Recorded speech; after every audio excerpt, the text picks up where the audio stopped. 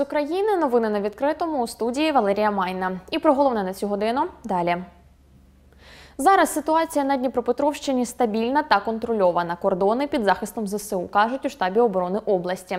Водночас прикордонні території області під постійними обстрілами окупантів. Усі вихідні ворог гатив з градів, смерчів та далекобійної артилерії по Зеленодольській громаді. Внаслідок ворожих атак в Зеленодольську сталася пожежа на території одного з дачних кооперативів. Окрім цього, пошкоджені кілька багатоповерхівок, будівля ДЮСШ, пошти та будинок культури. Через вогонь рашистів постраждали двоє місцевих жителів. Їм надали медичну допомогу. Загрози життю немає. Від шпиталізації люди відмовилися.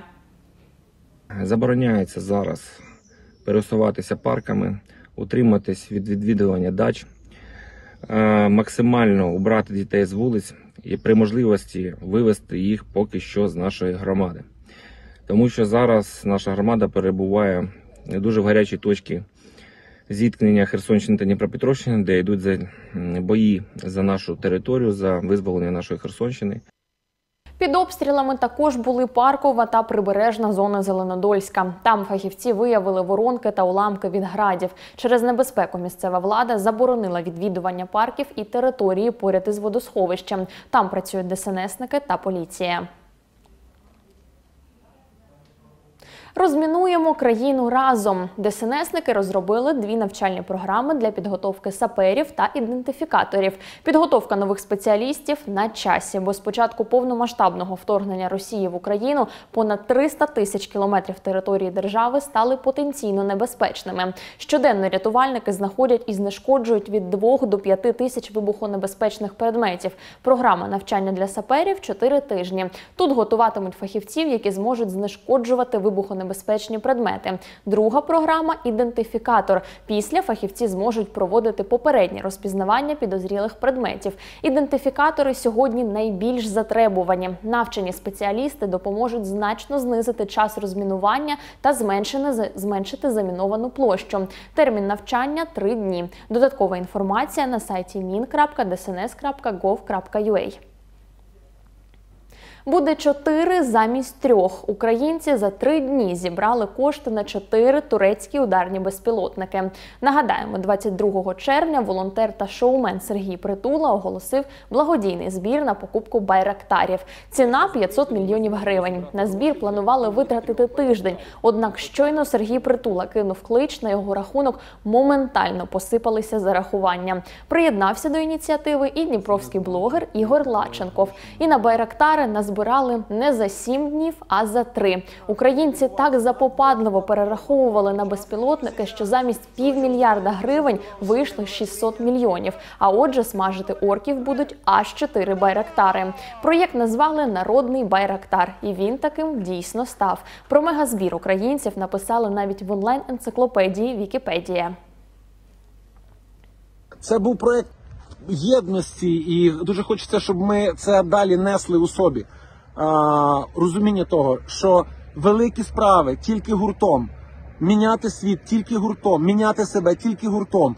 І ну, я коли дивився на, на те, як дівчатка якісь там пишуть лучший шопінг Байрактар, я просто знов сльози на очі наверталися від того, як ми всі дружно об'єдналися навколо чогось. Задача була за сім днів зібрати на три байрактари.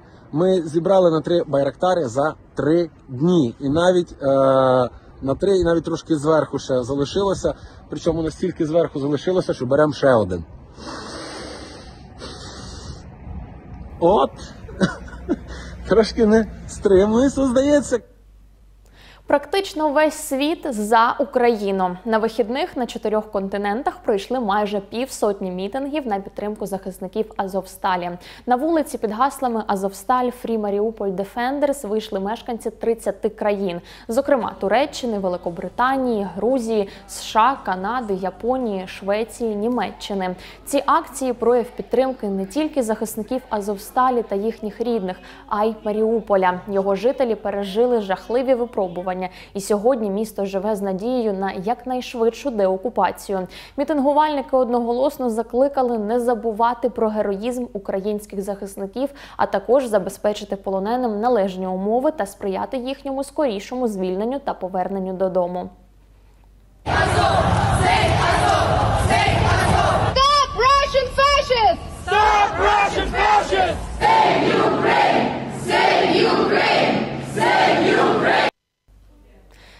Сильних та незламних духом продовжують зображувати на малюнках. Асоціація родин захисників Азовсталі поширює арт-роботи, присвячені Маріуполю.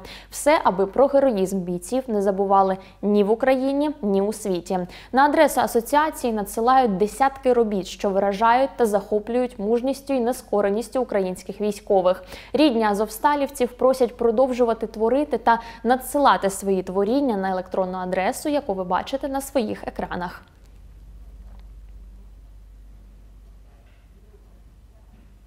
1700 робіт, понад пів тисячі декоративних виробів на трьох майданчиках. Дніпро вдруге пішло в артнаступ. Гроші цього разу збирали на ЗСУ. Що на них придбають та хто долучився до благодійного вернісажу, дивіться у нашому сюжеті.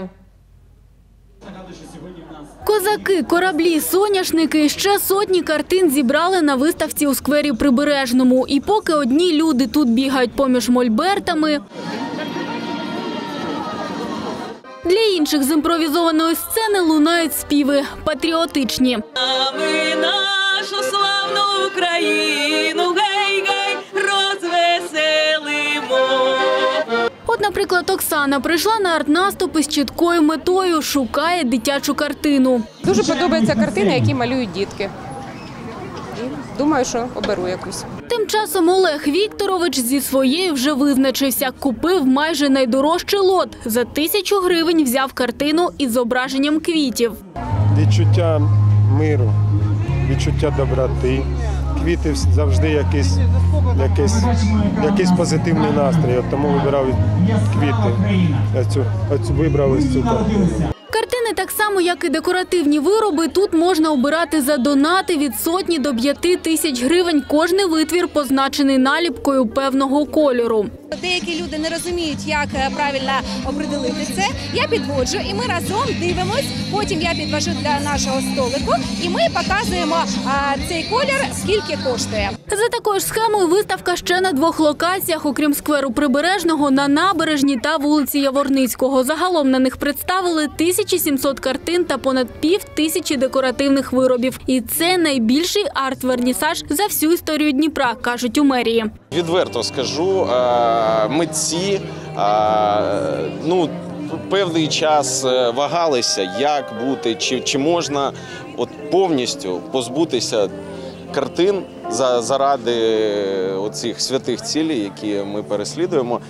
І в кінці кінців всі, хто беруть участь, це фактично ну, краще з кращих. І кращі роботи на цю виставку надавали не лише художники із Дніпра, а надсилали із Київщини, Херсонщини, Одещини та Харківщини. Деякі митці навіть лишили на них записки з особистими історіями.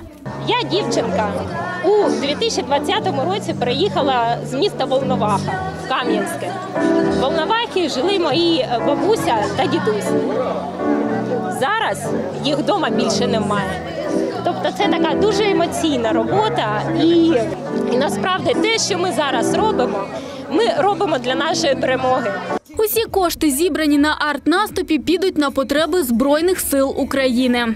Це дрони, це а, автомобілі з високою високою прохідністю, а це а, засоби особистого захисту. та такі таке подібне. Аліна Шевченко, Владислав Петренко, Open News, телеканал відкритий. Через російських покидьків вмирає все живе. Майже три тисячі дельфінів загинули у Чорному морі. За словами керівника науково-дослідницького відділу природного парку Тузлівські лимани Івана Русєва, потужні гідролокатори та вибухи руйнують чутливу навігаційну систему тварин. Через це дельфіни сліпнуть і гинуть, бо не можуть знайти собі їжу. А ще від вибухів мін вони отримують опіки та внутрішні травми. Поранених та загиблих дельфінів течією виносять на узбережжя Болгарії, Румунії, Турції та України. Фахівці зазначають, наразі через військову заборону не мають змоги обстежити значні території узбережжя, тож кількість загиблих савців може бути більшою. На цьому в мене все. Більше новин читайте на нашому сайті та в соцмережах. Сюжети на Ютуб. Дякуємо, що дивитеся відкритий. Ми мужня країна, Україна.